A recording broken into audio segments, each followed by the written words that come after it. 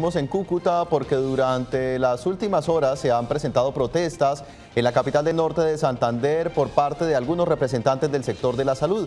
Ahí ya está en el lugar de la noticia nuestro compañero Richard Quiñones. Richard, protestas, ¿con qué motivo?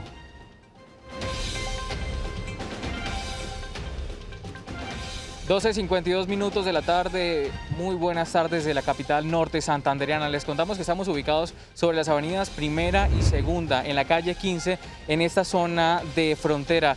Aquí en este punto, específicamente en este dispensario de entrega de medicamentos, se presentan algunos retrasos en donde ya los habitantes y los usuarios eh, de la ciudad de Cúcuta están molestos porque no se entregan los medicamentos eh, de forma oportuna. Vamos a hablar con las personas, a escuchar qué es lo que dicen, cuáles son pues, sus molestias, porque ya son varios reparos los que tienen las personas que llegan en muchas oportunidades aquí a este punto y no reciben asistencia. Muy buenas tardes, ¿cuál es su queja? ¿Cómo dice? ¿Cuál es su queja? Ah, no, pues que uno aquí se demora demasiado para que leen cualquier cosa. Yo tengo dos meses de estar tramitando este medicamento y todo porque el médico se equivocó al recetármelo y, no, ellos no arreglan nada, tiene que arreglar es uno, como si uno fuera el culpable que el médico se equivocara. ¿Qué medicamento es el que le tienen que entregar? Eh, este es Montelucas. El médico que me lo recetó me dijo que era de por vida, que tenía que tomármelo y que no podía dejar de tomar. Yo tengo dos meses de no tomarlo. Un medicamento que requiere de tomar eh, urgentemente. Vamos a hablar con otras las personas. Eh, cuéntenos eh, cuáles son las problemáticas que se presentan. ¿Les preocupa a ustedes el tema del riesgo de contagio del coronavirus? buenas tardes. Sí, claro. Primero porque antes era un, poco más organizado.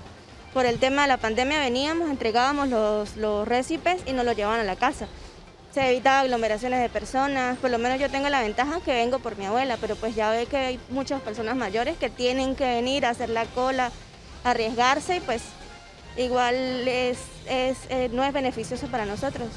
Pues muchas gracias eh, por atendernos. Eh, no es beneficioso para ellos, es incómodo y en algunas oportunidades pues es difícil. Vamos a seguir hablando con las personas que están ubicadas aquí en este punto, en este dispensario de entrega de medicamentos para saber cuáles son sus percepciones, cuáles son sus quejas y preocupaciones. Muy buenas tardes, cuéntenos cuál es su incomodidad. ¿Le entregan medicamentos, no le entregan medicamentos? ¿Cuáles son sus problemáticas? La problemática es que eh, desde ayer estoy esperando los pañales, desde la semana pasada prácticamente de mi mamá, y me dijeron ayer a mi esposo que había eh, mala, mala, administración, mala organización acá mismo. Entonces es una falta de respeto porque es una persona mayor de edad que necesita los pañales.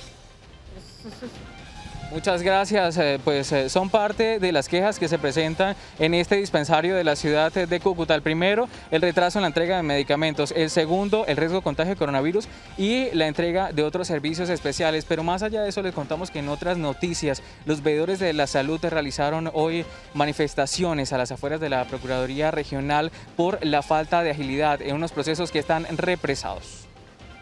La protesta fue generada según los veedores ciudadanos por el represamiento de denuncias que han hecho las comunidades a los organismos de control y no recibir respuesta a estas solicitudes. Los defensores de lo público piden claridad en materia de contratación, destinación de recursos y demoras en trámites administrativos rechazando toda la corrupción que hay en la parte de la salud y no ha pasado nada. Se hizo requerimiento a la Procuraduría Nacional y no ha pasado nada. Entonces, que está pidiendo la ciudadanía y nosotros acompañándolo como veedores de derechos humanos y de salud, que por favor le pongan atención a la salud del departamento, que el hospital está colapsado. Se acaba de anunciar por parte de la Contraloría que tres EPS están concentrando el 60% de, más del 8.000% de elevar el exceso de, de recobros de los medicamentos en Colombia y también denunciando la relación de la corrupción que hay con el sector público, el sector privado, caso Coca-Cola. Los sindicatos veedores de la salud y los informales también se hicieron presentes,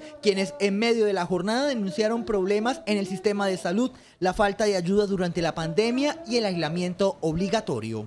Que estamos aquí en pie de lucha y diciéndole al señor procurador que necesitamos que actúe, que actúe por favor ante todas las denuncias, que necesitamos respuesta contundente. Por su parte, el ente investigador analiza las diferentes denuncias hechas por las comunidades y esperan que en los próximos días dar respuestas a cada uno de los requerimientos interpuestos, aportando transparencia a los diferentes procesos que se han radicado.